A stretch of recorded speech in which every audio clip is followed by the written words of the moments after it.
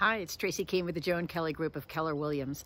Living and working in a resort area, I get to work with a lot of people who are looking for second homes, vacation homes.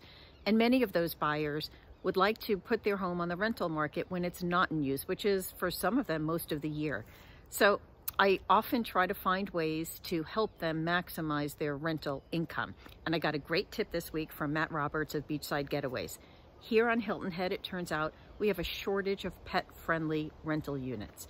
So if you're willing to go that route, you might get a really nice bump in your rental income.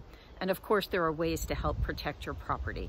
So for more information on that or other tips to help get the most out of your vacation rental property, feel free to give me a call.